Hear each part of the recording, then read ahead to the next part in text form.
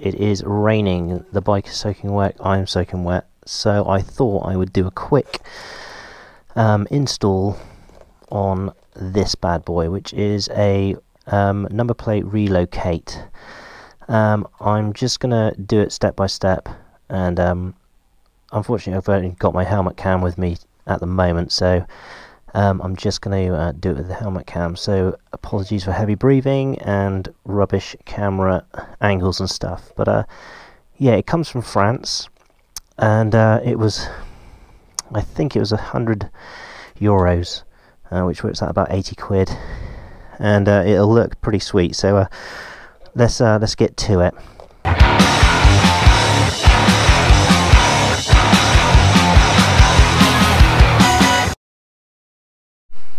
So in the box you get the um, the plate mount and all the bracket stuff and lights and everything for it. Um, I've looked online at the instructions and they look pretty straightforward. I think you get one, yeah, here you go.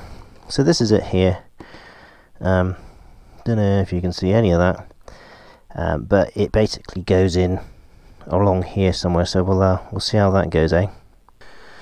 So uh, to take this off you need an Allen key and a T25 Torx wrench.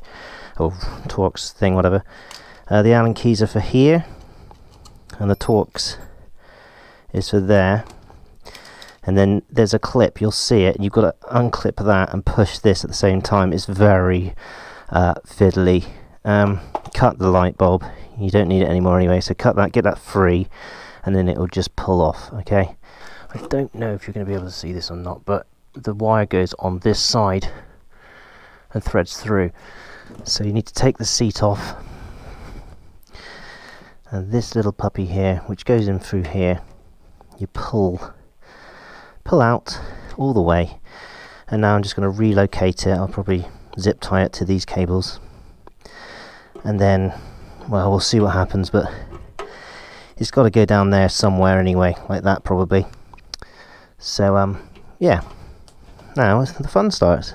So there it is. It's on. That was really really easy. Um, the instructions are here but um basically the shorter Allen key goes in there with the, the sort of rubber grommet uh, you need both of the spacers and the washers.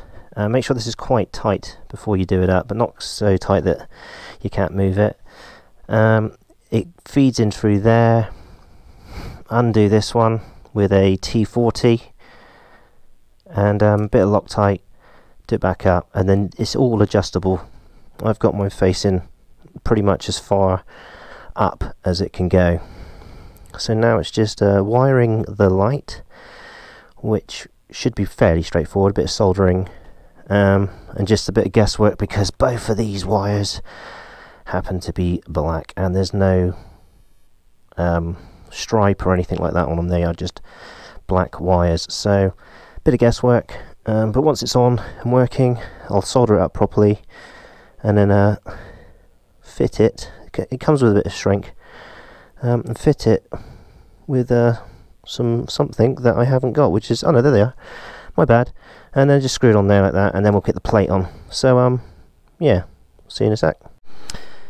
Okay guys, so zip ties, all down through, nice little bit of soldering work down here, and uh, just to check, I mean you, you need to check and check and check and check, because once it's soldered it's a pain in the ass, but there you go, it works. Um, I recommend you solder it and use some flux. Um, it'll just be a lot easier and clean um, contact and all that sort of stuff. Uh, use the whole sh uh, shrink, heat shrink tubing, just why not? And um, yeah, now it's just a matter of putting the uh, number plate on. And there you go guys, there she is in all her glory. The bike looks much cleaner now, excuse all the crap that's in my uh, shed. Um, but yeah, there you go. And um, I hope you go and get one yourself because I think it looks a bit better than the one that's uh, done by Harley that attaches onto there. And it was super easy, guys. Uh, the hardest bit was actually taking the uh, the original one off. Um, but there you go, guys. Um, hope this has been interesting. I'll leave a link to all the stuff in the description below. And um, I'll catch you next time, Street Bobber Vlogger. Woo!